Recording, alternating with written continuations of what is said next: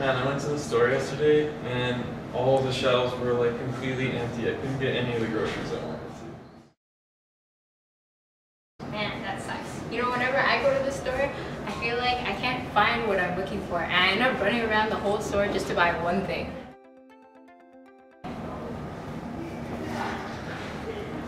When we started our project, we were given a couple of objectives to learn what's known as the Internet of Things, and to develop an open source application that would utilize this revolutionary concept.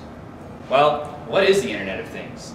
The Internet of Things is a concept where we connect objects, animals, or even people to the Internet, where these things are given the power to interact and provide information without human-to-human -human or human-to-computer contact. We quickly found that many of the things that we use every day could benefit from interacting with the biggest information repository known to man, the Internet.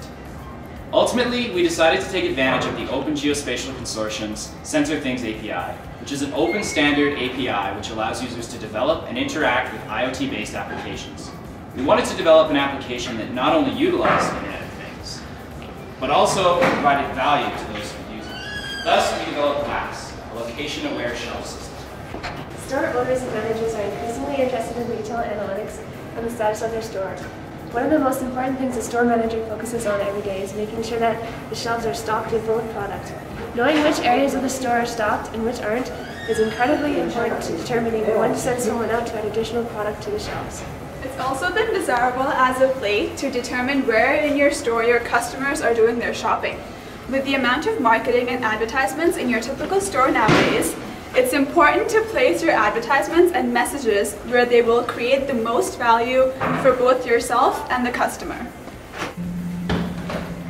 LASS aims to solve that. By utilizing the power of the Internet of Things, LASS is able to track customer movement and determine which part of the store needs to be restocked. All this is made available through a single open user interface. The last prototype was built with a motion sensor for measuring traffic, photo interrupter for measuring stock, and this was all attached to a Raspberry Pi, which utilized the SensorThings API in order to upload the data. We also developed a website where you can see people walking through the store and the stock levels in real time. Let's take a look.